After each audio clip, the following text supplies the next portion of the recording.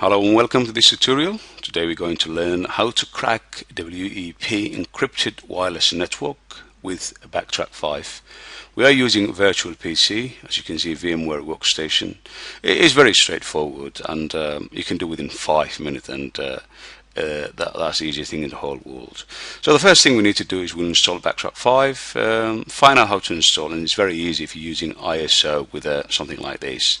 And at the same time I'm using a, um, a compatible USB um, a wireless which is uh, a Netgear but you can use D-Link, Belkin or any other uh, compatible one and it will be straightforward with you. As you can see um, something is blinking here where the Netgear USB device is. So as long as you can see this one, then you can go ahead and uh, start cracking this WEP uh, very straightforward.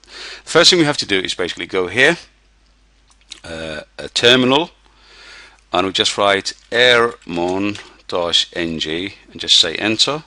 The first thing we see is WLAN uh, O, I'm at 0 and this is uh, our USB wireless.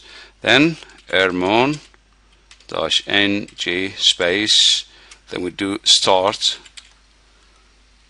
WLAN 0 which is uh, this one say enter and uh, we have to wait until we see monitor mode enable on mon 0 which is the interface we'll be using to crack the, WEP or wireless.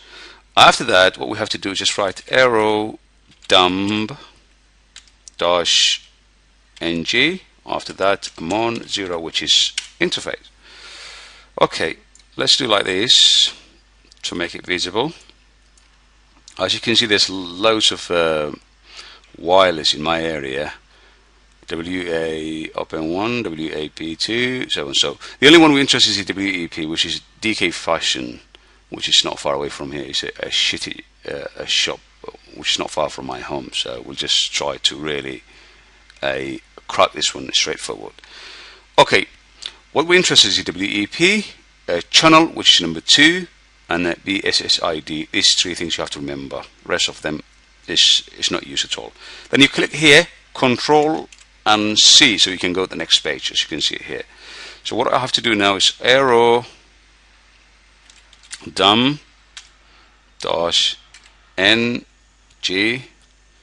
just go a little bit of space just say dash C our channel which is 2 then dash W we are using WEP space 2 dashes BSSID then what we have to do is we just go DK fashion, just go this BSSID, right click, copy, you come here and paste, after that mon 0 which is interface we're using and just say enter.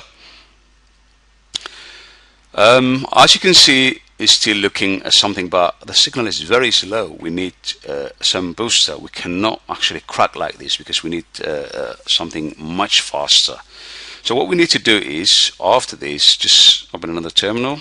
Just keep it this one open, leave it as it is.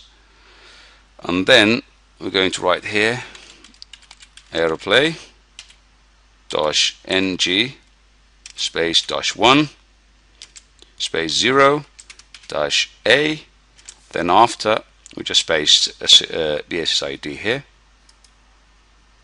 Paste and mon 0 which is interface we're using enter. It says straight away association is successful. After that to get the boost to get a fast really so we can get enough data to crack what we need to do is just write aeroplay dash ng dash 2 dash p 0841 dash C and then little bit of space capital letter one two F's six times two three four five and six. Capital letters then go small letter just say dash B space and uh, the similar things BSID just right click here paste and say mon 0 after you do this one, after you write this one, just say enter and uh, it's, it's found loads of data and this one is going faster now. So it says use this packet. Just say Y, which is yes, enter. After that, they're just counting and looking um, this packet and you know just runs for a while. And uh, uh, what we need to do is now, while it's still looking, just open the last terminal, which is the third one. Just keep running this one here.